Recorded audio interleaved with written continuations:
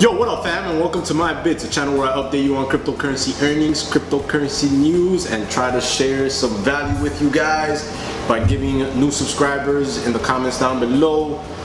Dash every single day. So if you're a new subscriber, in the comments down below, try to be the first one and comment me on there and I will do my best to try to give you some free dash. That way you can feel what it's like to have cryptocurrencies, hold them, see what you feel about them, and then if you like them, uh, you know, try to get some of your own. So yeah. Today is June the 14th and the markets are looking pretty crazy.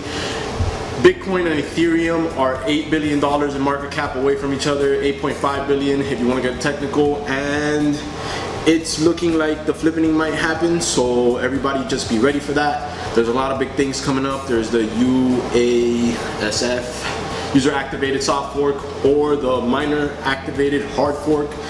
Pretty much it's the miners that have to do with this a lot. I'll speak more about that tomorrow in the morning in a video, probably.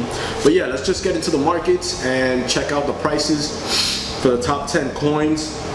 The total market capitalization is 103 billion. Everybody's talking about a correction, but um, yeah, 10 billion dollar correction in the market doesn't really seem like a big deal to me. That's just my take on it.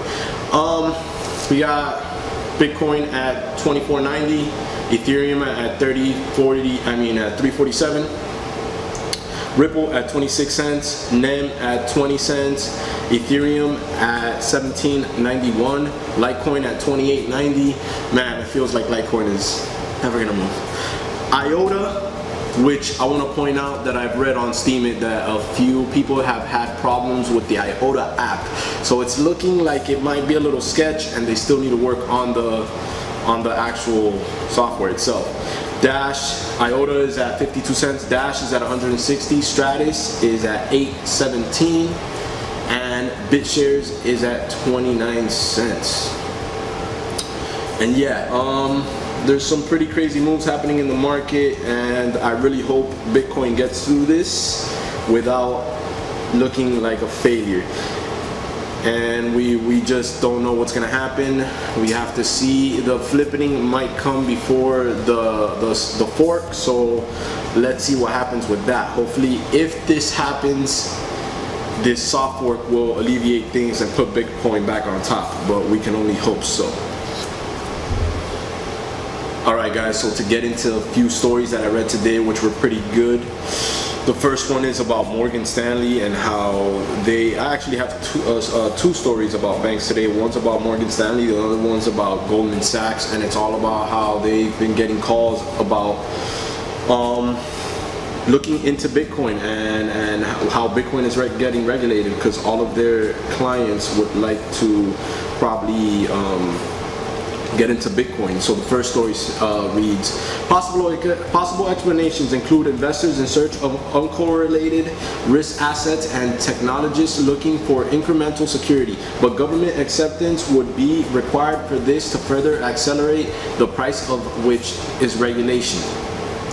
So Morgan Stanley is striking a caution note despite Bitcoin's recent booms. Regulation and by extension the government's acknowledgement is what's needed for the cryptocurrency to really take off and hit the mainstream according to the investment bank. It also says that cryptocurrencies have no use cases at all.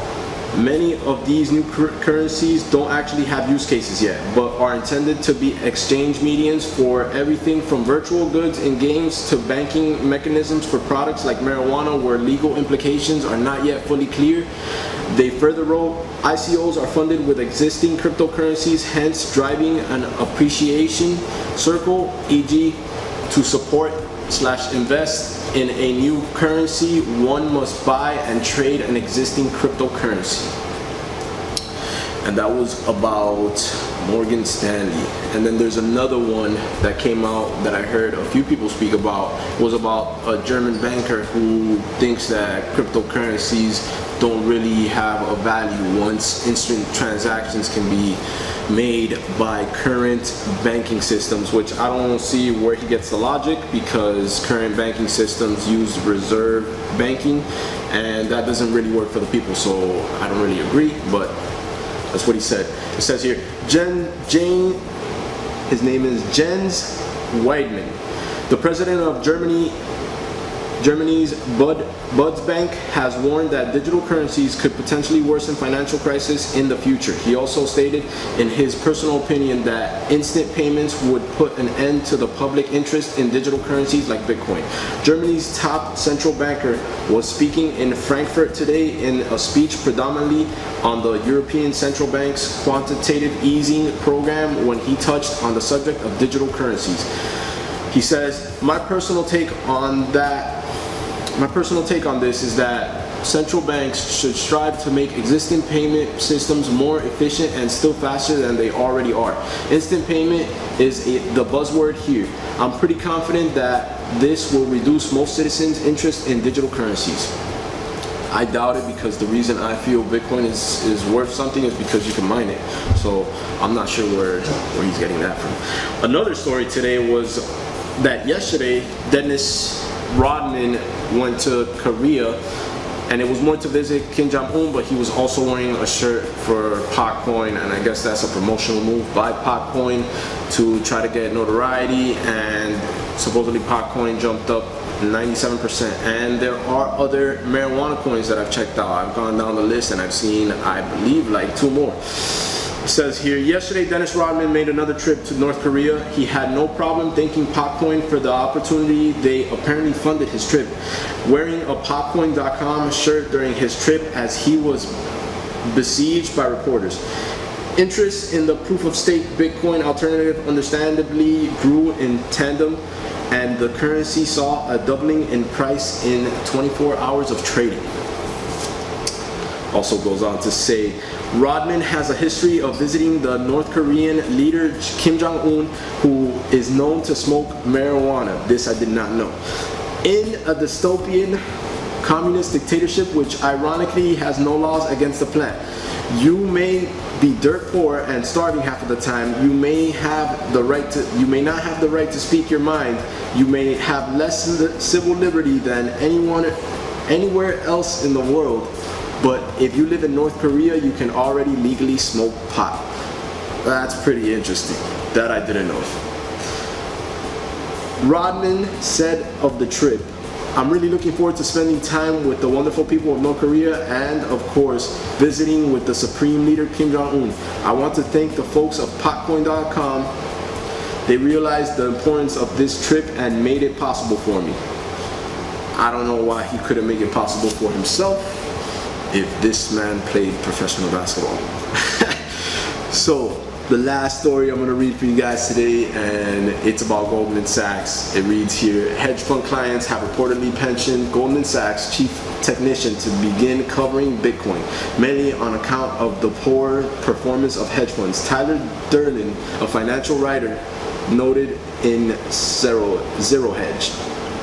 Durden stated that the fact that Goldman Sachs is bearish on the market indicates Bitcoin will likely reach new record highs. He also wrote that the market daily and weekly oscillations are diverging negatively. Hedge funds have been starved of volatility in all other classes of assets, according to Durden. He also noted fund managers are eagerly waiting Goldman Sachs' views on Ethereum. Most hedge fund managers have stayed away from Bitcoin. However, the few that have included it are significantly are outperforming their peers according to bitcoin.com so yeah man things are moving fast this year for bitcoin. It's it's um, it's an interesting marking i'm glad i got in it. Although it's it's a it's a roller coaster ride i'm not gonna lie. There's a lot of things that happen that you wish you could go back on and things like that but you know you have to try to stay educated and make those crypto gains. That's gonna cover for this video guys. If you enjoyed anything in it, please give it a thumbs up. Leave me any comments, any thoughts on any of the topics that I covered tonight. I would love to hear your thoughts and yeah, just uh, keep watching the coins, keep trying to make those crypto gains and comment down below for some free dash. Follow me on Steemit. Good looks for any any interactions and I will see you on the next video. Peace.